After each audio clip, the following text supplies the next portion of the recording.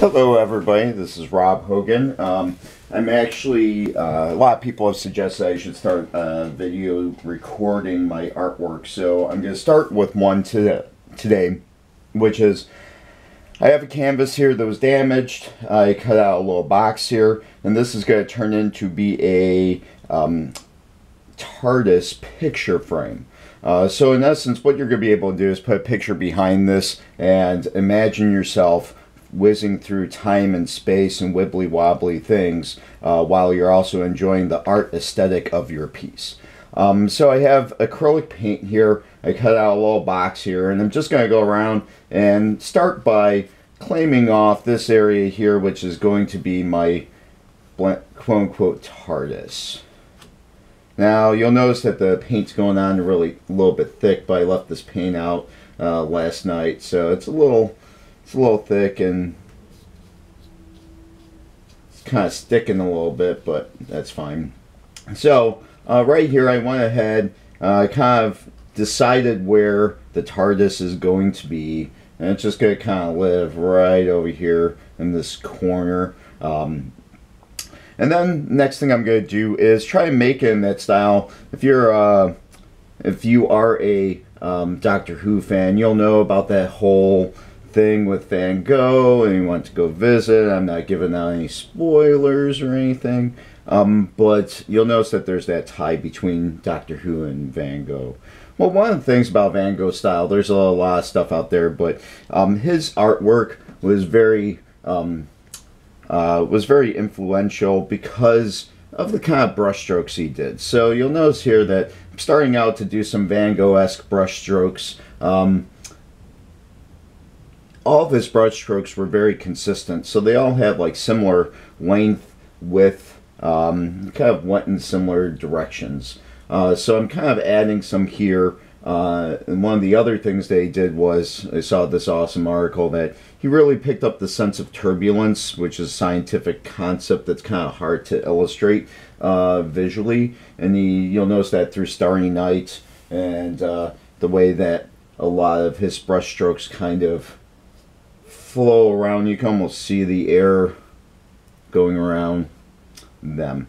So I got some blue brush strokes here, and you can see it starts here and gets a little turbulent, wraps around a little bit. I'm also making sure I get the sides. Um, anytime you're painting, if you do the sides, you kind of quote-unquote finish the artwork.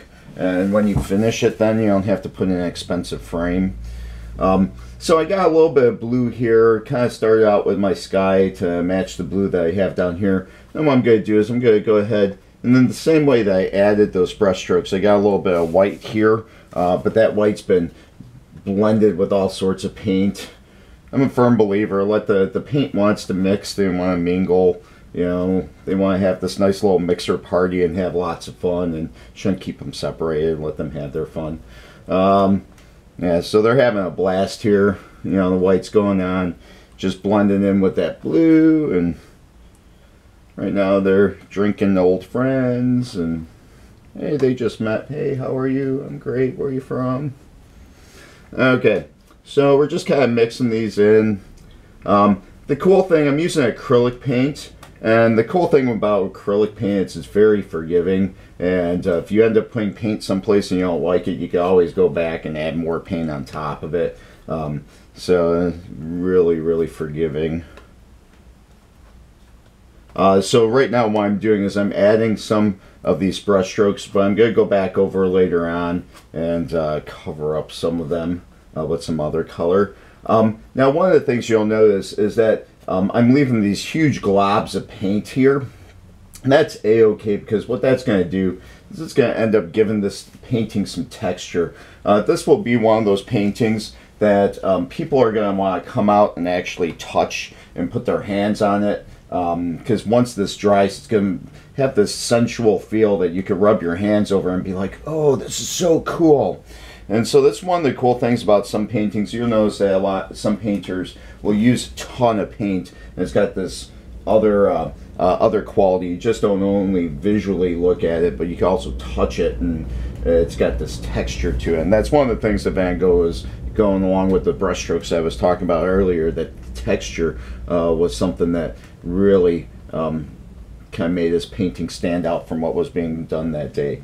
So, okay, so right now we got the TARDIS getting back on track. We got uh, all this stuff going up here. But what we're going to do down here? Well, Van Gogh showed a lot of turbulence in the sky, but there was also, if you look at some of his uh, like cornfield, you know, the sunflower field paintings, that there's like this turbulence that occurs through nature too. It's almost like uh, the leaves um, bending to the will of the tree, uh, the wind and such. Uh, so what I'm going to do is I'm actually going to start uh, by adding some of these little tree bushes things, um, bush thingies um, you'll notice that these kind of, I'm doing the same kind of brush strokes that we saw up above, but I'm also going to incorporate these by kind of bending them up into the sky that we see here. And like I did before, I'm going to add one series of these. And I'm going to go through and add some in between. And then, you know, I mentioned that I was going to add more paint in up here. So I kind of forgot uh, to leave a little bit of space for uh, these trees. So that's why I'm going in and I'm adding some up here where I had some uh, white canvas still left. Okay, so we got like a little bit of a tree coming out here. And I'm going to go ahead and I'm going to add one up here. I'm going to have it follow suit of the direction that the other one. So you can almost see like a turbulence here of two flows coming together. So you got the flow up here, it's going around, coming up here, and then you got a flow coming from here going around it. So this is almost like a rock in a river or stream, and you can see the way, uh, the way that the water is going around it. And so a lot of, um, it kind of helps if you want to do anything Van Gogh-esque, you kind of like think about the paint as a fluid. And, uh, you know, like uh, Bruce Lee said, uh, be like water, be fluid. So let's have that water, uh, that paint be very fluid and kind of go around that rock, that obstacle that we had there.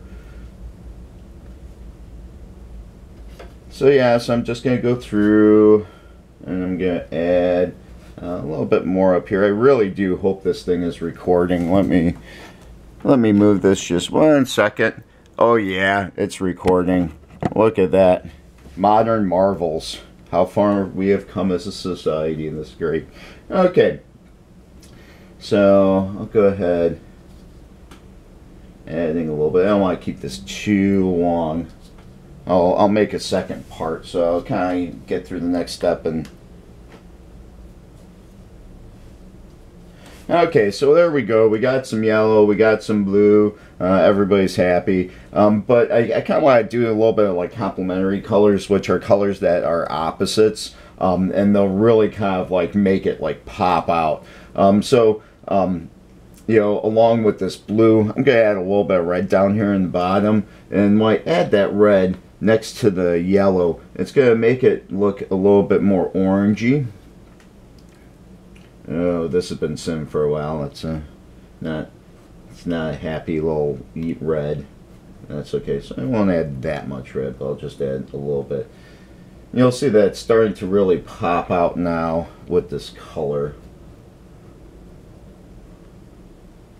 And you'll notice that most of the brush strokes I'm doing are about two to three inches long. Um, when I do a lot of this style artwork, um, I actually use the same brush. I don't switch brushes. Um, I, I got kind of a few years ago when I started doing art, uh, I started with pointillism. And uh, I actually went through and I wasn't doing sketches beforehand when I first did it. And the first time I told somebody I wasn't doing sketches before I started the artwork, they were like, that's amazing. And I'm like, oh, so that whole process of making artwork is actually a pretty significant thing. Uh, so, like, I do take the process of making artwork pretty seriously when I make my artwork. Uh, so, a lot of the um, uh, pop um, impressionistic uh, portraiture that I do, I actually don't sketch out anything ahead of time. Um, and additionally, I also use the same brush for a lot of it because um, I think it's you know, it's kind of cool just to use the same brush. Um, a lot of people switch.